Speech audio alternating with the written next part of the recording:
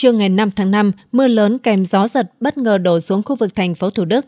Theo ghi nhận, mưa diễn ra từ khoảng 12 giờ, khu vực mưa chủ yếu tại khu vực thành phố Thủ Đức, trong khi đó các quận khác như 10, 11, Tân Bình, Tân Phú, Gò Vấp, vân vân, không khí oi bức.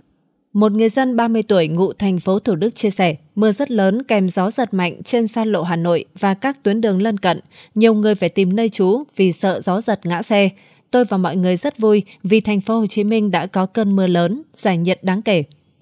Qua theo dõi tại khu vực chợ Thủ Đức và một số tuyến đường như Tô Ngọc Vân, Dương Văn Cam, vân vân xảy ra ngập cục bộ.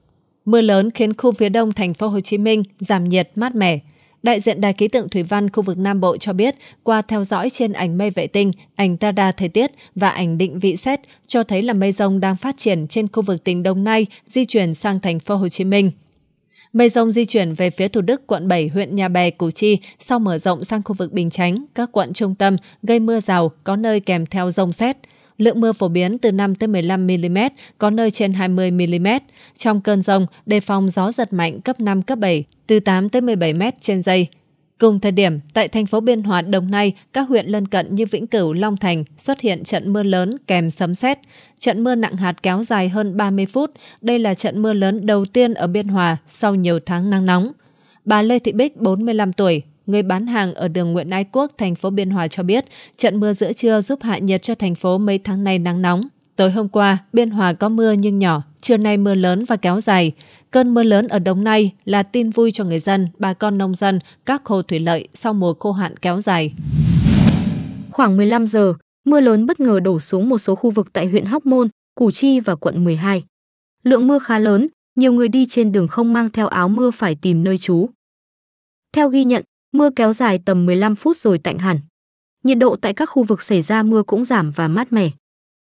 Lúc 15 giờ 15 phút, ông Lê Đình Quyết, trưởng phòng Đài khí tượng và thủy văn khu vực Nam Bộ cho biết hiện Củ Chi cũng đã có mưa trong phạm vi hẹp, đơn vị chưa nắm được thông tin về lượng. Trong khi đó, tại các quận khác như quận 11, quận 10, quận 7, quận Tân Bình, Tân Phú vẫn chưa có mưa, trời nắng gay gắt 37 độ C. Anh Nguyễn Tân, ngụ quận 12 chia sẻ, tôi đang lái xe máy trên quốc lộ 22, đoạn qua huyện Hóc Môn, mưa bất ngờ đổ xuống. Lượng mưa khá lớn, diễn ra chừng 15 phút rồi tạnh hẳn. Mưa diễn ra không dài nhưng khiến khu vực Hóc Môn mát mẻ hẳn. Trước đó, lúc 13 giờ 45 phút, Đài khí tượng thủy văn và khu vực Nam Bộ phát tin cảnh báo rông, lốc, xét và mưa lớn cục bộ tại khu vực thành phố Hồ Chí Minh. Qua theo dõi mây vệ tinh, ảnh radar thời tiết cho thấy mây rông đang phát triển, gây mưa, mưa rào trên khu vực tỉnh Đồng Nai. Những khối mây này đang có xu hướng phát triển và mở rộng về phía khu vực thành phố Thủ Đức. Ngoài ra, mây rông phát triển cục bộ ở huyện Củ Chi. Trong chiều nay, mây rông dự kiến tiếp tục phát triển và mở rộng về phía khu vực thành phố Thủ Đức, gây mưa cho khu vực. Ngoài ra, khối mây ở khu vực huyện Củ Chi cũng phát triển gây mưa cho khu vực. Lượng mưa phổ biến 5 đến 10 mm. Sáng sớm ngày 2 tháng 5, nhiều khu vực ở thành phố Hồ Chí Minh bất ngờ xuất hiện mưa. Thời điểm này, người dân đang trên đường đi làm hoặc đưa con đi học. Anh Chu Thanh Tùng cho biết hơn 7 giờ 40 phút khi đang di chuyển trên đường Võ Văn Kiệt quận 1 thì gặp mưa rào, trận mưa kéo dài khoảng 10 phút, không quá lớn nhưng cũng khiến nhiều người phải dừng xe, mặc áo mưa rồi mới tiếp tục di chuyển. Mưa cũng xuất hiện tại quận 3, quận 4, nhờ thế thời tiết thành phố Hồ Chí Minh tuy còn nóng nực nhưng đã có phần giảm nhẹ so với những ngày trước đó. Việc di chuyển vội vàng và đường trơn cũng khiến xảy ra tình trạng té xe.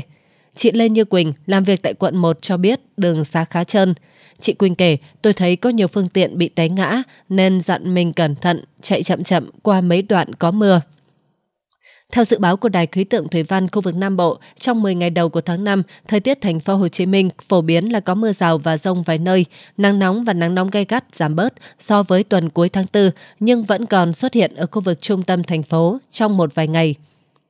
Trong các ngày, ngày 2, ngày 5, ngày 6, ngày 7 và ngày 8 tháng 5 có khả năng có mưa rào và rông rải rác với một vài nơi có mưa vừa, đề phòng lốc xoáy gió giật trong những cơn mưa rông. Ngày 3 tháng 5, ông Lò Văn Đoàn, Phó Chủ tịch Ủy ban Nhân dân xã Triềng Trăn, huyện Mai Sơn, tỉnh Sơn La, cho biết trên địa bàn đã xuất hiện rông kèm mưa đá.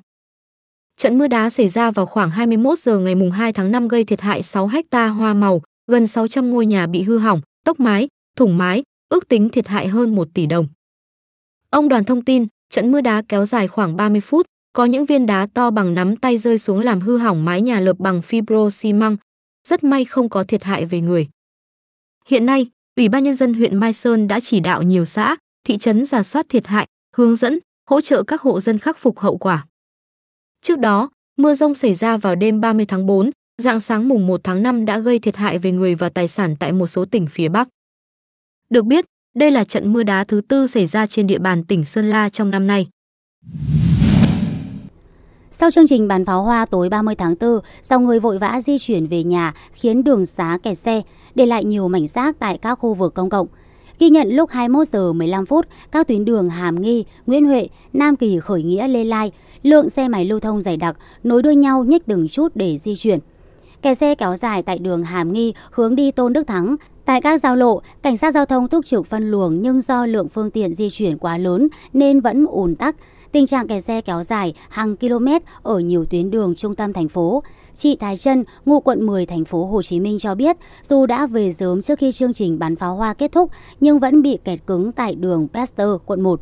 Phố đi bộ đường Nguyên Huệ quận 1 ngập rác, từ đường Tôn Đức Thắng đến đường Lê Thánh Tôn, nhìn đâu cũng thấy rác. Ngay sau chương trình, nhân viên vệ sinh nhanh chóng thu gom rác tại phố đi bộ Nguyễn Huệ. Một nhân viên vệ sinh cho biết đây là hình ảnh quen thuộc sau các dịp lễ hội. Theo Trung tâm Dự báo Khí tượng Thủy văn Quốc gia, sau đợt nắng nóng kéo dài, miền Bắc sẽ đón đợt không khí lạnh yếu gây mưa rông. Từ chiều tối và đêm 30 tháng 4 đến ngày mùng 7 tháng 5, khu vực này có mưa rào và rông rải rác, cục bộ có mưa to. Thời điểm mưa tập trung từ đêm 30 tháng 4 đến ngày mùng 3 tháng 5 và từ chiều tối và đêm ngày mùng 5 đến ngày mùng 7 tháng 5. Trong khi đó, từ chiều tối và đêm 30 tháng 4 đến ngày 7 tháng 5, khu vực Sơn La, Hòa Bình và Thanh Hóa, Nghệ An có mưa rào và rông rải rác, cục bộ có mưa to. Thời điểm mưa tập trung từ đêm 30 tháng 4 đến ngày mùng 3 tháng 5 và từ chiều tối và đêm ngày mùng 5 đến ngày mùng 7 tháng 5. Từ ngày mùng 2 đến ngày mùng 3 tháng 5, khu vực Tây Nguyên có khả năng có mưa rào và rông rải rác. Cơ quan khí tượng cảnh báo, không khí lạnh cuối mùa từ lục địa Trung Quốc di chuyển xuống miền Bắc gây mưa rào cục bộ, có nơi mưa to, nắng nóng chấm dứt. Sự xung đột giữa hai khối không khí nóng và lạnh có thể gây ra hiện tượng thời tiết cực đoan như rông lốc, mưa đá, xét. Ông Nguyễn Văn Hưởng, trưởng phòng dự báo thời tiết, Trung tâm Dự báo Khí tượng Thủy văn Quốc gia cho biết, trong thời điểm mưa rông, miền Bắc cần đề phòng với hiện tượng rông lốc xét, mưa đá và gió giật mạnh. Tháng 5 là giai đoạn có sự chuyển biến thời tiết từ mùa lạnh sang mùa nóng, mùa khô sang mùa mưa ở Bắc Bộ, nên các hiện tượng rông mạnh kèm lốc xét, mưa đá có khả năng xuất hiện nhiều nhất trong năm, đặc biệt ở vùng núi. Do tác động của địa hình có thể tạo ra các ổ mây đối lưu phát triển mạnh, hệ quả là gây ra các trận rông kèm lốc xét, mưa đá và gió giật mạnh. Thời gian rông lốc xét mưa đá ở Bắc Bộ, khu vực Thanh Hóa, Nghệ An và Hà Tĩnh thường xuất hiện vào chiều, chiều tối và đêm. Trung tâm Dự báo Khí tượng Thủy văn Quốc gia nhận định do tác động của El Nino giai đoạn suy thoái, tháng 5 nhiệt độ trung bình cả nước cao hơn trung bình nhiều năm, từ 1 đến 2 độ C, tháng 6 cao hơn 0,5 đến 1,5 độ C. Ông Nguyễn Văn Hưởng, trưởng phòng dự báo thời tiết, Trung tâm Dự báo Khí tượng Thủy văn Quốc gia cho biết sự bột phá của những tháp mây xuất hiện vào giai đoạn giao mùa gây ra rông lốc mạnh hoặc mưa đá thời gian vừa qua. Đầu tháng 5 tới đây, hiện tượng rông, lốc xét, mưa đá và gió giật mạnh được dự báo sẽ tái diễn. Lý giải nguyên nhân dẫn đến hiện tượng rông lốc kèm theo mưa đá xuất hiện nhiều nơi ở miền Bắc thời gian gần đây, ông Hưởng thông tin. Hiện đang trong giai đoạn chuyển mùa, thường xuyên có sự tranh chấp của các khối khí. Khí quyển trở nên bất ổn định hơn nên mưa rông cũng xảy ra nhiều hơn so với các thời điểm khác trong năm. Trong một số trường hợp, ổ rông có đối lưu phát triển mạnh nên ngoài việc gây ra mưa to còn có thể kèm theo hiện tượng mưa đá và gió giật mạnh. Ông Nguyễn Văn Hưởng nói, Trước đó, chiều tối và đêm 23 tháng 4, ở khu vực Sơn La, Hòa Bình, Thanh Hóa, Nghệ An có mưa rào và rông mạnh.